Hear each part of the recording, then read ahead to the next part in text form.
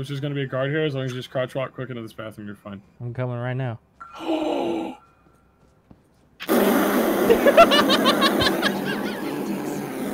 What the f- was that? You said there's a guard coming. As long as I walk into that bathroom, I'll be fine. You know what? I never told a lie. You're right. Bank assistance office is towards the back of the bank, behind the tellers.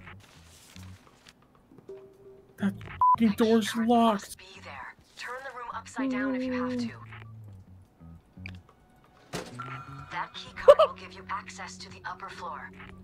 How the f- did you get over there? I just fucking robbed that guy.